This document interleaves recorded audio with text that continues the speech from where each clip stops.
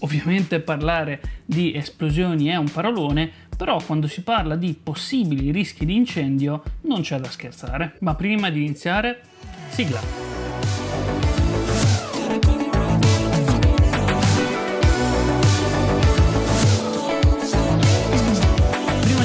Video vero e proprio vi ricordo che il miglior modo per supportare il canale è lasciare un mi piace e se siete interessati all'argomento di iscrivervi spuntando la campanellina per rimanere sempre aggiornati. Prima di arrivare alle soluzioni cerchiamo un attimino di capire come effettivamente una stampante 3D potrebbe incendiarci casa. Alla base di tutto ciò ci sta una cosa chiamata per convenzione triangolo del fuoco. Se avete fatto un corso antincendio sicuramente sapete di cosa sto parlando. Invece per chi non l'ha mai sentito ed è la prima volta che lo sente, eh, no, non si tratta di un rito voodoo o roba del genere, semplicemente una rappresentazione del processo fisico e chimico della combustione. Quindi per far sì che una combustione avvenga Uh, diciamo abbiamo bisogno di tre principali elementi. La presenza di un combustibile, di un comburente e una fonte di innesco. Il combustibile può essere di varia natura e questo potrebbe essere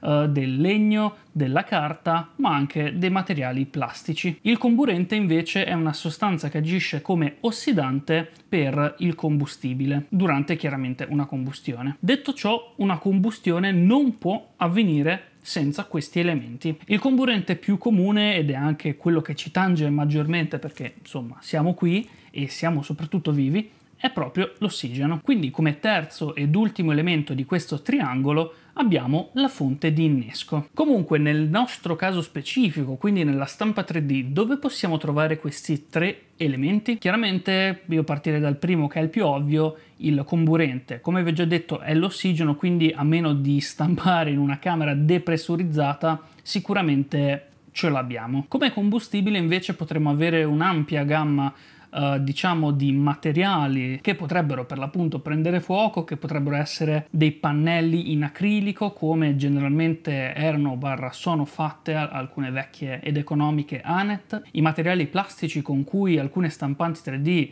Uh, eh, sono fatte, ma chiaramente anche il legno perché alcune stampanti tempo fa venivano costruite in legno per vari motivi di praticità cosa ormai sempre di più in disuso, però comunque il legno, come ben sapete, è un ottimo combustibile. Cosa assolutamente da non sottovalutare è che non solo la stampante potrebbe essere fatta da materiali che possono essere usati come combustibile, bensì anche materiali attorno. Il terzo elemento, quindi l'innesco, in questo caso è un pochino più complesso. Questo perché una stampante 3D può generare incendi di natura elettrica. Quindi diciamo che l'innesco avviene uh, proprio per l'appunto per un malfunzionamento di un componente elettronico, di un cortocircuito, un surriscaldamento uh, di eventuali componenti, eccetera, eccetera. In via teorica e anche un pochino il buon senso ci porterebbe ad avere dei cablaggi e dei connettori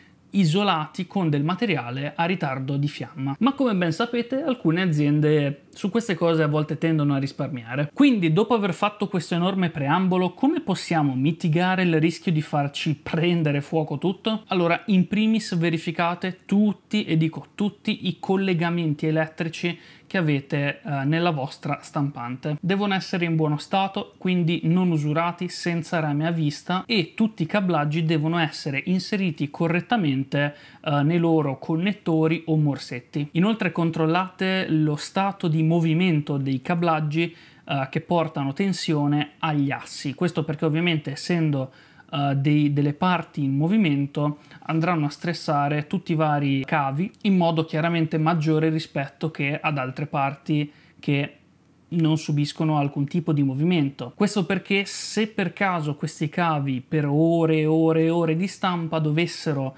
uh, farlo nella maniera sbagliata, quindi concettualmente si vanno a creare delle pieghe troppo dure o comunque strusciano da qualche parte, l'isolante rischia di venire a mancare e quindi potreste causare dei cortocircuiti. Quindi diciamo che uh, voi dovreste controllare che i cavi non abbiano dei problemi a muoversi, però diciamo per aiutarvi potreste utilizzare una guaina spirale, quella con cui ci si fondamentalmente organizza i cavi del computer, oppure stampare o comunque comprare una guida di tipo carro armato, quelle proprio rigide, che sono veramente ottime in veramente tante situazioni. Il secondo consiglio è valutate bene dove andate a mettere la vostra stampante. Sono sempre stato un po' dubbioso nel mettere la stampante dentro ad un enclosure di legno perché chiaramente lì ci sono tutte le condizioni ideali per aumentare un rischio di incendio. Magari cercherei anzi di utilizzare strutture diciamo metalliche coibentandole con dei materiali di tipo ignifugo. Un'altra precauzione da prendere in assoluto e soprattutto gratuita è quella di prendere e verificare il corretto funzionamento dei sistemi di sicurezza integrati nel firmware delle vostre stampanti. Praticamente Marlin e altri firmware di stampanti 3D sono provvisti di un sistema che manda in blocco la stampante nel caso in cui si rilevi un'anomalia su uno degli elementi riscaldanti ma ora vediamo un attimino come funziona nello specifico. Infatti una temperatura troppo alta di un, di, diciamo, di un determinato riscaldatore uh, può portare a svariati problemi, proprio dovuti all'eccessivo riscaldamento. Stessa cosa, anche una temperatura troppo bassa potrebbe essere sintomo di un problema. E voi mi chiederete perché? Una temperatura troppo bassa rilevata dal, dal firmware, quindi dalla scheda madre, potrebbe essere uh, sintomo di un'anomalia sulla sonda termica. Vi faccio un esempio. D'inverno, eh, se tenete la stampante 3D in un ambiente comunque freddo, vi sarà capitato di arrivare a accenderla e trovare l'errore min temp. Che cosa significa e perché la stampante va in blocco con quell'errore? Questo avviene perché dentro al firmware è presente un valore impostato come temperatura minima di notifica dell'errore. Questo parametro ci serve ed è essenziale per il funzionamento, diciamo, in sicurezza della stampante perché ovviamente la scheda madre è programmata per far sì che uh, se noi impostiamo una determinata temperatura, lei la deve mantenere. Che cosa succede però se per sbaglio o per un problema o quello che è si spaccasse la sonda termica?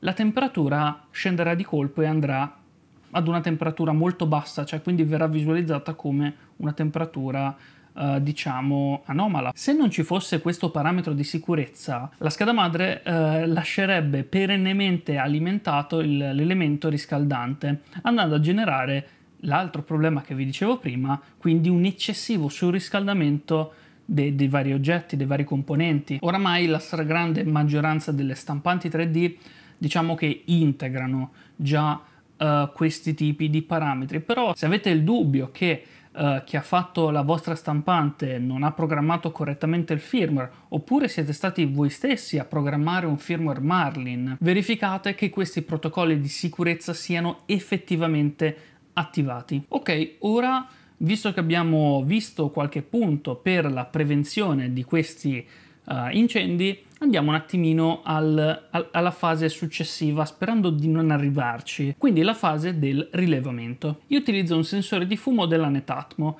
costosetto ma io lo acquistai in offerta.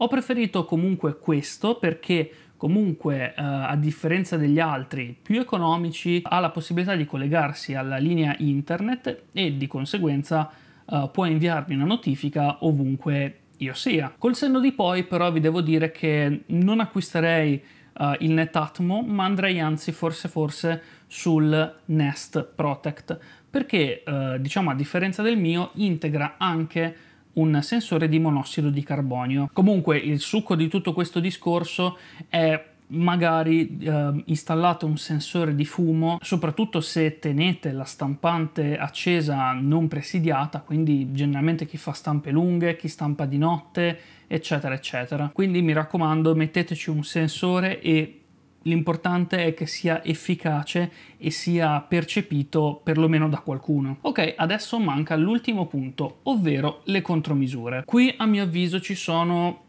diciamo più vie che possiamo andare a prendere. Una cosa buona e giusta che secondo me non è solo limitata alla stampa 3D è quella di avere diciamo un estintore a portata di mano. Chiaramente non sono tutti uguali, ognuno ha una categoria e ogni categoria ha il suo utilizzo. Il più comune, ma anche quello forse più giusto da utilizzare in questi casi, sarebbe il classico estintore a polvere. Però a mio avviso non è che sia una grande idea. Questo perché sì, andrete a spengere comunque un piccolo incendio o comunque un piccolo principio di incendio, ma vi garantisco che se dovete arrivare a sparare 6 kg di polvere in una stanza per spengere un piccolo incendio, tanti auguri per dopo. Esistono anche delle palle che non sarebbero altro che uh, dei, dei, dispositivi che, passivi, chiaramente, uh, che vengono messi ad esempio sopra dispositivi elettronici, batterie al litio e quant'altro,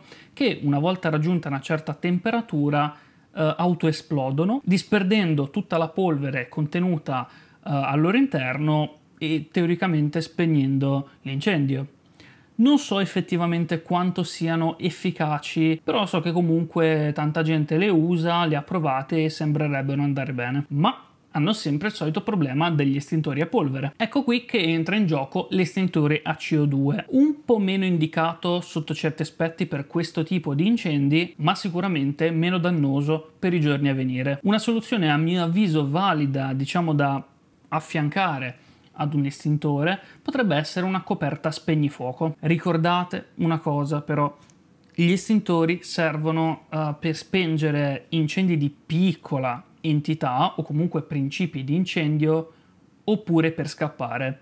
Cioè non, non è che avrete una riserva infinita per spengere de- delle fiamme alte 10 metri, questo è chiaro. Io queste cose ve le dico, ma usate sempre perennemente la testa. Poi questo video qui non è un corso antincendio, sia ben chiaro. Cercate sempre di fare uh, le cose con il massimo della prudenza, perché poi soprattutto quando si arriverà al punto di dire ho fatto una cazzata è troppo tardi. Insomma, io penso che questi qui siano un pochino le basi del, di quello che secondo me è più o meno la, la prevenzione, tutto quello che sta dietro ai rischi dell'incendio sulla stampa 3D. Ovviamente non c'è solo questo, se, uh, ci saranno sicuramente anche altri metodi per rendere il tutto più sicuro. Quindi se ve ne viene in mente qualcuno, avete dei dubbi, domande, come sempre fatemele qui sotto nei commenti. Insomma, il video di oggi finisce qui, spero tanto che vi sia piaciuto, mi raccomando se così fosse lasciate un grande mi piace, iscrivetevi, commentate, mi fa sempre